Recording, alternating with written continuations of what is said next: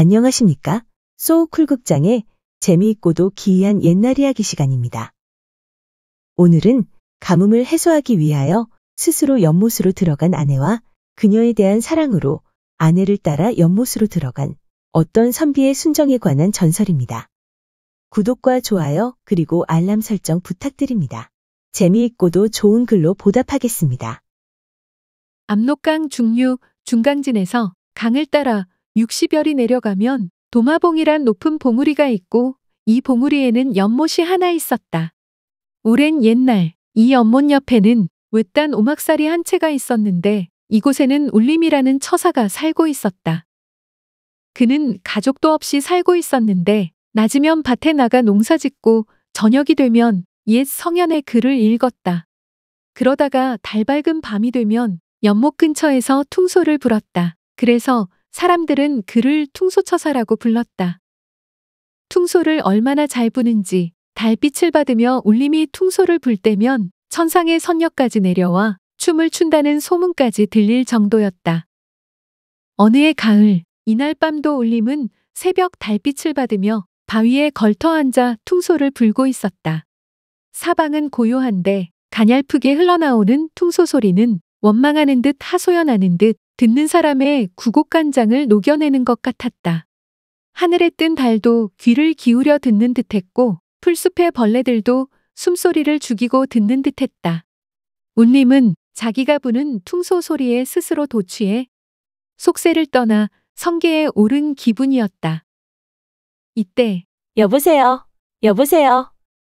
옥쟁반을 구르는 구슬 같은 맑은 목소리가 퉁소 소리를 깨뜨리고 등 뒤에서 들렸다.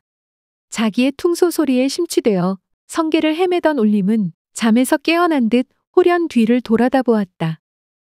거기에는 한미인이 수주금을 머금은 채 서 있었는데 한떨기 백합과도 같은 여인의 자태는 그 모습이 세상 사람 같지 않았다. 눈을 비비고 다시 보았으나 이렇게 아름다운 여인은 일찍이 본 일이 없었다. 여인이 입을 열었다. 방에서 죄송합니다. 퉁소 소리에 취하여 한 발짝 두 발짝 내디딘 것이 부지 중 여기까지 이르렀습니다. 도대체 당신은 누구요? 여인은 대답이 없었다. 운님은 다시 물었다. 어디서 오셨소? 저는 집도 없고 부모도 없는 혈혈단신으로 의탁할 곳이 없어 돌아다니는 사람입니다. 오늘 우연히 이곳에 이르렀다가 그 아름다운 퉁소 소리에 마음이 끌려 그만 신뢰를 범하고 말았습니다. 여인은 말을 잇지 못했다. 부끄러움을 감추지 못하는 듯한 표정이었다. 이 깊은 산 중에 여인은 웬 여인이며 또 이렇게 아름다울 수가 있단 말인가? 혹시 천상의 선녀가 내려온 것이 아닌가? 이런 생각도 해보았다. 여인은 계속 퉁소를 불어줄 것을 간청했다. 부탁합니다. 부디 퉁소를 계속 불어주십시오. 더 이상 여인에 관해 묻지 않고 운님은 퉁소를 입에 대었다. 끊어질 듯 하다가 이어지는 구슬픈 퉁소 소리는 산을 넘고 골짜기를 따라 울려 퍼지기 시작했다. 한 곡조가 끝나고 새로운 곡조가 이어지는 것이 몇 차례 되풀이했는데도 여인은 떠날 줄을 몰랐다. 밤은 깊어 삼경을 가리키는데 여인은 퉁소 소리에 취해 있었다. 퉁소를 멈춘 울림이 여인에게 먼저 돌아가기를 권했다. 밤이 깊었는데 그만 돌아가시죠. 갈곳 없는 몸입니다. 외람된 말씀이옵니다마는 소녀를 어여삐 여기시와 거두어 주십시오. 일생 모시고 지내기를 소원합니다. 이날부터 쓸쓸한 호라비의 초가에서 여인의 웃음소리가 흘러나왔다. 두 사람 사이의 정은 보통 부부의 금실에 비길 바가 아니었다. 한시라도 떨어지면 그리워하고 마주 앉으면 정다운 이야기가 끝이 없었다. 운님은 아내의 신분에 대해 새삼스레 알려고도 하지 않았다. 꿈 같은 생활에 부부는 세월이 어떻게 가는 줄조차 몰랐다. 어느덧 깊은 겨울이 지나고 만물이 소생하는 봄철이 되었다. 그런데 이를 어쩌나. 봄이 되면서부터 아내의 몸은 점점 야위어만 갔다. 올림은 산골짜기와 바위 틈을 돌아다니면서 좋다는 약초는 다 캐다 다려 먹였지만 아내의 몸은 점점 병색이 짙어졌다. 아내는 오직 온림의 퉁소 소리에만 잠시나마 생기를 찾았다. 온림은 사랑하는 사람을 위해 기운이 다하도록 퉁소를 불었다. 그런데 희한하게도 아내가 여우여 가는 것과 입장을 같이 하는지 지난 가을 이후 지금까지 비가 한 방울도 내리지 않았다. 농부들은 하늘을 쳐다보고 푸념만 했다. 오늘도 비 올 가망은 없구나. 하늘이 산천 초목까지 말려 죽일 모양이지요. 도마봉의 문물도 바닥이 보인다던데요. 제각기 한마디씩 했다. 기우제를 지내보아도 아무런 영험이 없었다. 가뭄이 진행될수록 웬일인지 올림의 아내는 더욱 심한 고통을 느끼는 것 같았다. 그리고 자꾸 울었다. 식사를 전폐하고 잠도 자지 않으며 조바심했다. 보다 못한 올림이 아내를 달랬다. 아니, 모두가 당하는 일인데 당신만 왜 이러시오? 당신 혼자 걱정한다고 안 오는 비가 내린단 말이오. 모든 건 다 하늘의 뜻 아니오. 제발 마음을 느그시 먹고 조금만 기다려 봅시다. 올림이 이렇게 위로하자 아내는 고통을 억지로 참으면서 쓴웃음을 지었다. 매일 저녁 잠자리에 들면 아내를 달래고 위로하는 것이 올림의 일과가 되었다. 어느 날 새벽, 전날 밤도 아내를 위로하다 함께 잠이 들었는데 잠결에 더듬어 보니 아내가 자리에 없었다. 일어나서 불을 켜고 찾아보아도 방 안에는 없었다. 혹시 뒷간에 갔나 기다려보아도 돌아오는 기척이 없었다. 전에 없던 일이라 불이 나게 옷을 입고 부엌으로 뒷간으로 찾아다녔으나 아내의 종적은 그림자도 찾을 수 없었다. 하룻밤 사이에 이게 웬일인가? 혹시 산짐승에게 물려갔나?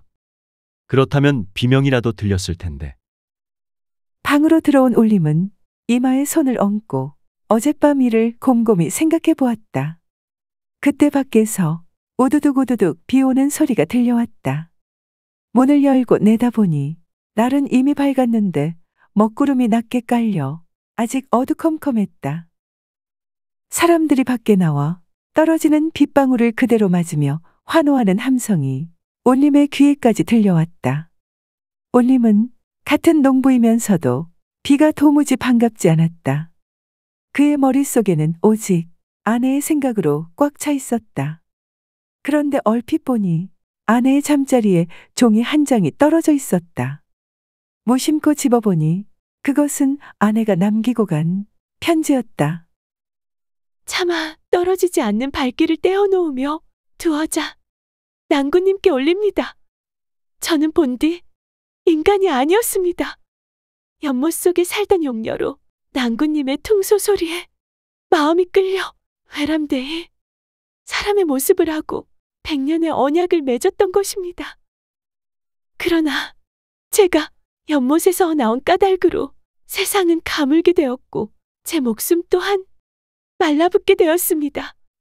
제가 연못으로 돌아가지 않으면 세상의 모든 초목이 다 말라 죽을 것이 오매 할 수 없이 저는 다시 연못 속으로 돌아갑니다. 부디 저에 관한 생각일랑 이 순간부터 끊으시고 새로운 인연을 찾으십시오. 다만 저를 불쌍하게 여겨 용서해 주실 수 있다면 어렵지만 한 가지 청을 말씀드리겠습니다. 달 밝고 바람 없는 고요한 밤에 그립고 귀에 익은 그 퉁소 소리를 저에게 들려주십시오. 꽃 피고 새우는 이른 아침에 그립고도 그리운 낭구님의 얼굴을 제가 사는 연못에 비춰주십시오. 다시는 나오지 못하더라도 낭구님의 퉁소 소리를 듣고 낭구님의 얼굴을 뵈면서 작은 위안이라도 얻을까 합니다. 읽기를 마친 올림은 맥이 탁 풀렸다. 망연자실 앉아있는 그의 귀에는 세차게 쏟아지는 빗소리만이 들릴 뿐이었다. 그 후부터 올림은 정신 나간 사람 같았다. 아침이건 저녁이건 연못가를 서성대었다. 그러다가 밤이 되면 목가바 위에 앉아 날이 새는 줄도 모르고 퉁소를 불었다. 그 퉁소 소리는 더욱 처량하고 더욱 애련하여 듣는 이의 애간장을 녹이는 듯 했다. 어느 날 밤 그날도 올림은 목가에 나가 퉁소를 구성지게 불고 있었다. 그 처량한 소리는 구천에 사무치는 듯 초목금수도 흐느끼는 듯 했다. 이때 돌연 올림의 귀에 자기를 부르는 소리가 들렸다. 목소리의 주인공은 자기 아내여. 목소리가 나는 곳은 연못 속이었다. 올림은 자기를 부르는 소리를 따라 연못 속으로 성큼성큼 걸어 들어갔다. 이튿날부터 목가에서는 퉁소 소리가 들려오지 않았다.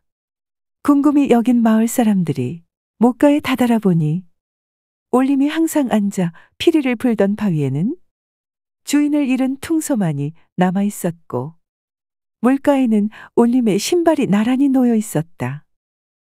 마을 사람들은 올림이 연못에 빠져 죽었다고 생각하고 못 속을 샅샅이 뒤졌으나 끝내 그의 시체는 찾지 못하였다. 이후부터 사람들은 이 연못을 올림지라 부르게 되었다. 그 후부터 달이 밝은 고요한 밤이면 이 올림지에서 퉁소 소리와 같은 아름다운 소리가 흘러나온다고 한다. 들어주셔서 고맙습니다. 용어 풀어 올리겠습니다. 처사는 숨어 살며 벼슬을 하지 않는 선비를 말합니다. 거사는 속세에 있으면서 불교를 믿는 남자. 이에 반해서 처사는 유교적 입장에서 초야에 묻힌 사람입니다.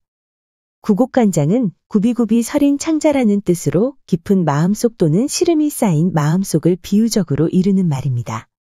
금실은 부부간의 사랑입니다. 금실의 본뒷말은 금슬입니다. 금슬은 검은고와 비파를 아울러 이르는 말이며 금실과 금슬은 혼용합니다. 용녀는 전설에 나오는 용왕의 딸입니다. 때로는 용궁에 산다는 선녀를 지칭하기도 합니다. 애간장에서 애는 초조한 마음속이고 간장은 간과 창자입니다. 하늘 천자를 쓰는 구천은 아홉 개의 하늘입니다. 즉 하늘을 아홉 방위로 나누어 이르는 말이 구천입니다. 중앙을 균천, 동쪽을 창천, 서쪽을 호천, 남쪽을 염천, 북쪽을 현천이라 하고 동남쪽을 양천, 서남쪽을 주천, 동북쪽을 변천, 서북쪽을 유천이라 합니다. 네 천자를 쓰는 구천은 지하라는 의미입니다. 불교 용어로 땅속 깊은 밑바닥이란 뜻으로 죽은 뒤에 넋이 돌아가는 곳을 이르는 말입니다. 참고 문헌과 자료 출처 소개에 올리겠습니다. 성도문화사의 책 유머 속의 지혜를 참고했습니다. 국립중앙박물관, 한국학중앙연구원, 한국민족문화대백과사전, 한국민속대백과사전, 그리고 한국학중앙연구원의 그림과 사진을 빌렸습니다. 김준근의 국립민속박물관 개최 기산 풍속화에서 민속을 찾다 특별전에 전시 도록을 빌렸습니다. 김영조 기자가 기사를 작성하고 화가 이무성이 사파를 그린 모래는 하지 가뭄이 들면 기우제의 일러스트를 빌렸습니다. 국사편찬위원회 우리 역사넷의 일러스트를 빌렸습니다. 현대화가 박연옥의 책 조선의 여류시인 미인도에서 그림 한 점을 빌렸습니다. 위키백과와 나무위키의 기사와 사진을 빌렸습니다. 조선시대 화가 신윤복과 김중근의 그림 몇 점을 빌렸습니다. Crowdpic, 123RF, Pixabay, Getty Images Bank, PIXTA, Pinterest, Pexels, Pngtree, Lovepik, Clipart Korea 그리고 Freepik의 사진과 일러스트를 빌렸습니다. 쏘쿨 극장은 일주일에 두 번, 매주 화요일과 토요일 오전 11시 전후에 이야기 올리는 것을 원칙으로 합니다. 반면에 쇼츠는 매일 한 편씩 올리도록 노력하겠습니다. 고맙습니다. 다음에 만날 때까지 건강하시기를 기원합니다.